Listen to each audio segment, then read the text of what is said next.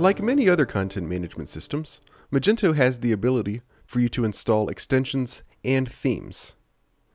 The process is slightly involved, so let's walk through it here.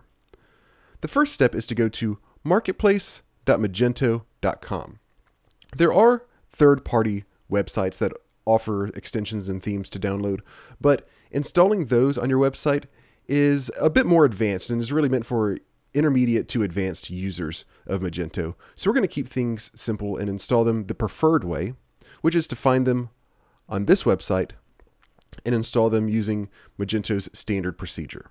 Once you've come to this website, make sure you log in. If you don't have an account, go ahead and sign up for an account and log in because you do have to have an account to get these extensions and themes. Go ahead and do that right now if you need to. The process for installing an extension or theme on your Magento site is basically the same. We're going to use an extension for our example because currently there are no free working themes, unfortunately. For Magento, there are some paid themes and there are some that are marked as free that aren't actually compatible with our version of Magento, so we're going to use an extension. Notice when we hover over extensions, we get a screen that has lots of different categories. Let's say we want an extension for content and customizations, so we'll click on that. Now once you're taken to this page, and this is true for themes as well, you're going to want to filter down to your version of Magento so that you're not seeing extensions or themes that are incompatible with your version.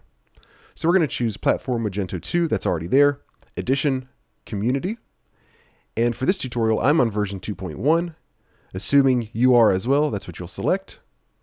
And then it will show us only those extensions that are compatible with our version of Magento. Let's say we want to use this EU cookie compliance extension.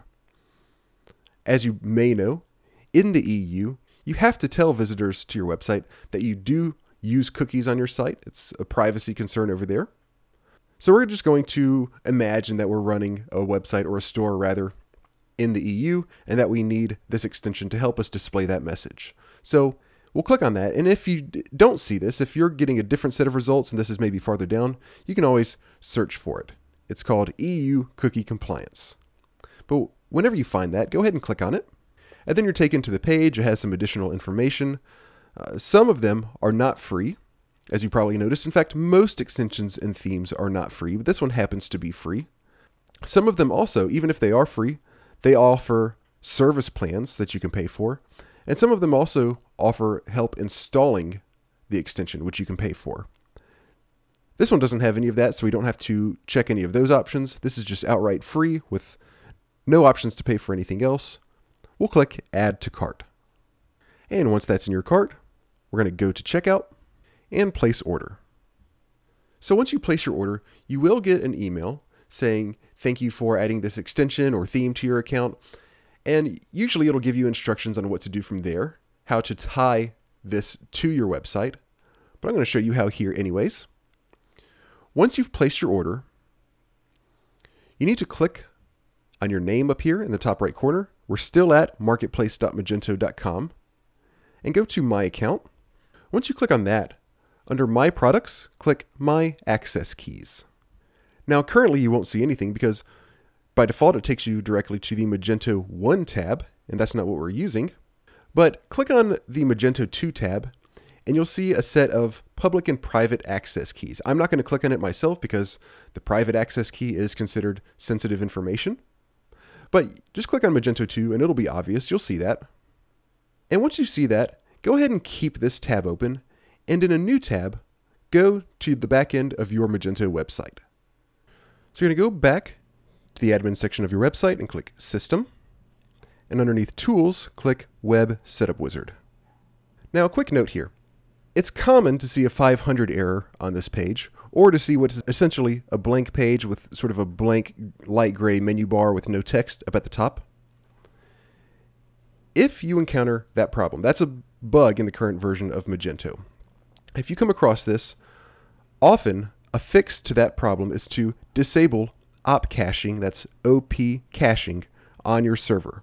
If you don't know how to do this, or you don't have access to do this, get in touch with your server admin or your web hosting company to see if they can do this for you.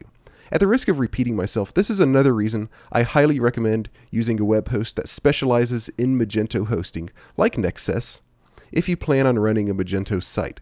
If you're with a web host with deep knowledge of Magento, then when you encounter problems like this, they are much more likely to know what they can do to help than if you are with a host that doesn't have a Magento specific offering.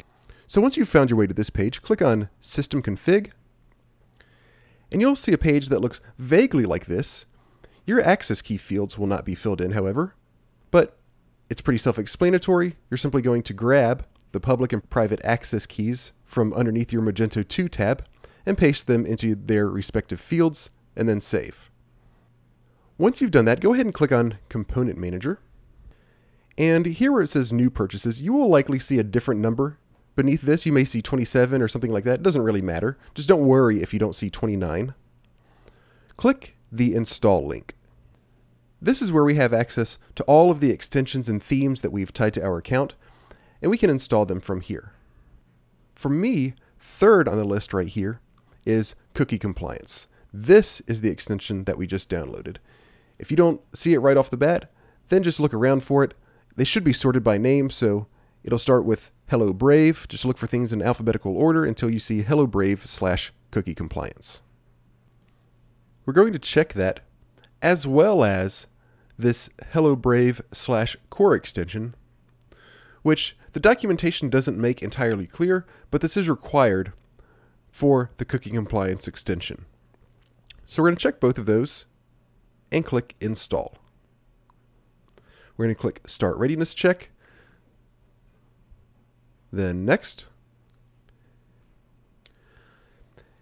And you may get an error, such as this, in this case. It says cron script readiness check failed, found non-writable paths. Usually, the information here is pretty helpful telling you what you need to change in order to finish installing these extensions. If we find the HTML directory, all of this is stuff farther back on our server that's not really relevant. We're going to find HTML, and from there, we need to find app slash design slash admin HTML slash Magento. And then the same thing, except we're going to find design slash front end slash Magento as well. We need to make these paths writable. So we're going to go to our file system, and we're starting off in HTML. It looks like we need I need to page over one. We're looking for the app directory and then design. And here we have those two directories, front end and admin HTML. We'll do these one at a time. We're going to go here. And in this case, our front end directory is empty. So let's just go ahead and create a new folder. It's looking for capitalized Magento. So we'll, we will create that keeping the capital M as it is, otherwise it may not work. And click Create. And then just to be safe, let's temporarily give this group write permissions in case that's what it needs. And we can come back and remove that after we're done. And then let's back up and find admin HTML as well. And same thing, we're going to create a new folder here, capital case Magento. And again, just to be safe, will make this writable by the group. And there is one more thing in the file system that sometimes need to do when enabling extensions and themes that the readiness check doesn't always look for. Let's back up a little bit to the app folder. So we are in our root directory slash app and the etc folder. We have this file here, env.php, Let's make the group permission on this one writable as well. Sometimes that is necessary for this process. And again, when we're finished, we'll want to go back and remove the write permissions from these three things. So once that's done, let's try our readiness check again. And it looks like we're all set. And don't get scared if this process takes a while, particularly the component dependency check Sometimes it takes a few minutes. So if it does seem to be going on for a long time, don't freak out. That's fairly common.